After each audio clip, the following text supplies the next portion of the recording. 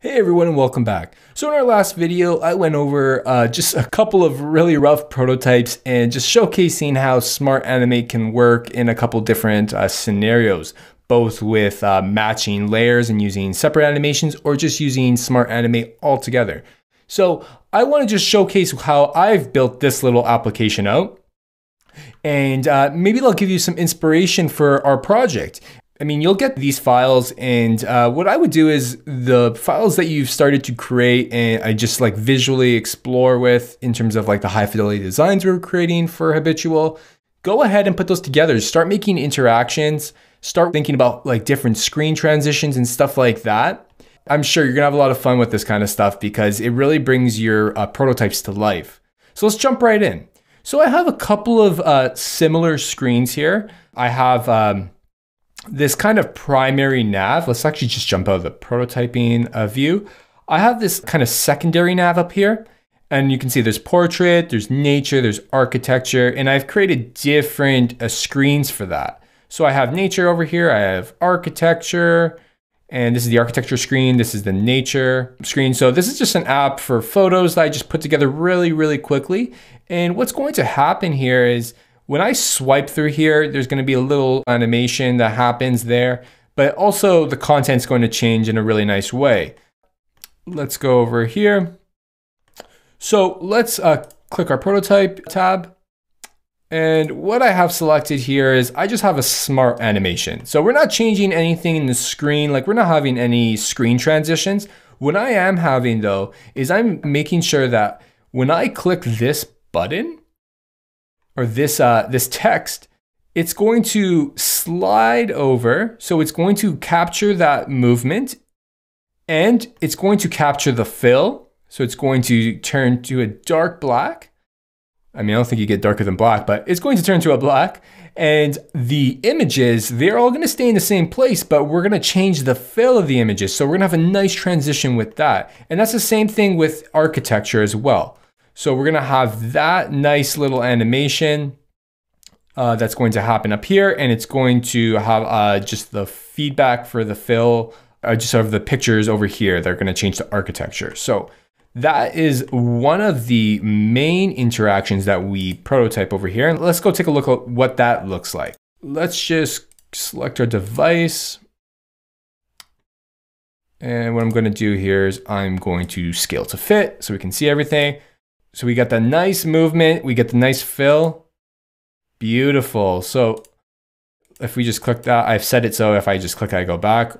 If we really wanted to kind of animate it to the best possible thing that we can, we would just use like a drag. We could do that as well and just kind of like hijack that horizontal scroll. So that way nature just stops over there on the next screen. So it's another possibility, but it's just nice and subtle Users get the feedback they need for each transition. And there's good, good animation over here in terms of just the duration of the fill. So I really like that. I'm going to show you um, another interaction. So what we have here as well is when a user clicks on an image, I don't just want that to be instantaneous. I want to smart animate right to that image. So I wanted to kind of take up the whole screen. All the other layers will just be removed. These will be new layers. And I want to see that feedback of that transition of uh, the image going to the very top of the screen. So these, as you can tell, they are rectangle 2 and rectangle 2, and they are both named the exact same. And this should just animate to the top, and the rest of the content will appear gradually. So let's take a look at what that looks like. So if I click on this, so all the rest of the content just dissolves in and I have everything there. So let's take a look at what that looks like again. So if I click home and I go back, I mean, we could actually place a back button here too to do the same thing. So that's really nice. I mean, it's not too fast. So I have 400 milliseconds on the actual uh, duration and I have an ease in and out. So that means it's gonna take its time going in and it's gonna take its time kind of um, coming out. So I mean, when it starts the animation, when it ends the animation, it's gonna have a nice like in and out, and it's not gonna be too abrupt. So let's take a look at what that looks like one more time. Really beautiful. Boom. Okay. I have another smart animation. I've done it on a drag. So what's going to happen here is when the user drags on these similar uh, photos, I want to go to this screen.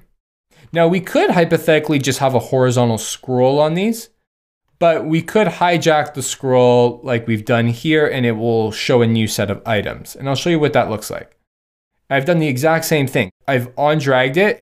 As you can see, the frame is bleeding off of the main mobile frame. You can see it over here. So if I just kind of bring that, hmm. So it's uh, very interesting how that's not working properly, but so when I actually slide this, it's going to drag to this again. So let's take a look at what that looks like. So I can see, looks really nice. I bring that back and I can slide it back. So it's just going back between screens now, but the great thing about this is with a horizontal scroll, you can't really stop it nicely. This kind of just hijacks that scroll and puts it in place. So that's a great way to show off that type of animation. Like these are great for working closely with developers because they'll be able to see how things are supposed to work.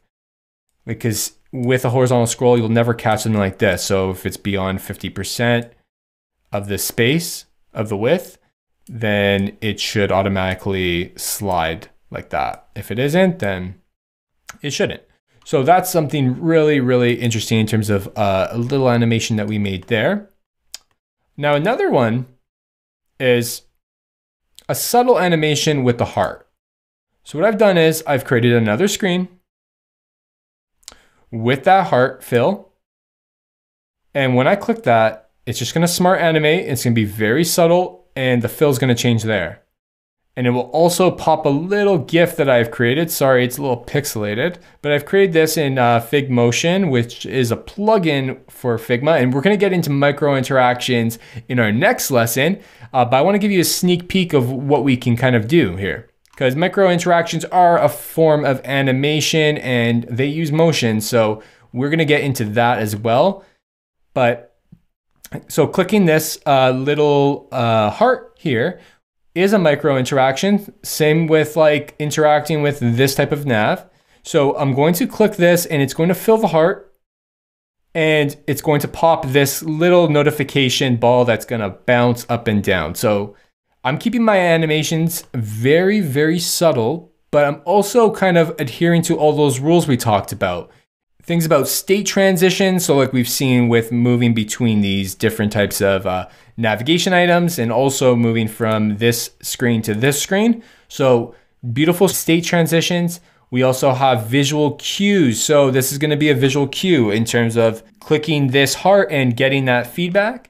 That's also a part of visual feedback as well. So when I click this, I'm gonna get great feedback. And another cue over here is this little notification that's going to pop up. So let's take a look at what this whole prototype looks like from here onward. So I can see I can click that. So very nice. And we have our little tiny subtle animation bouncing in the background, letting users know, hey, click me, I have something for you to look at. So let's remove that. And it's gone and it's there. So really nice, really subtle that it's not instantaneous. It doesn't look really like jumbled or anything like that.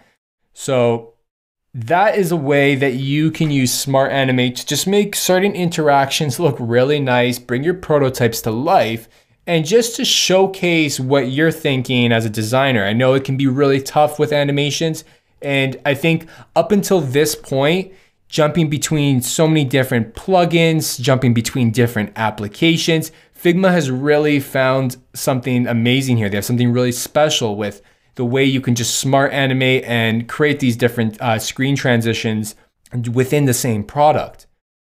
In our next lesson, we're gonna jump right into micro interactions. And I'm gonna get to what they are. I'm gonna talk about why they're so important and we're gonna create our own. So go out there, have some fun with like creating these smart animations.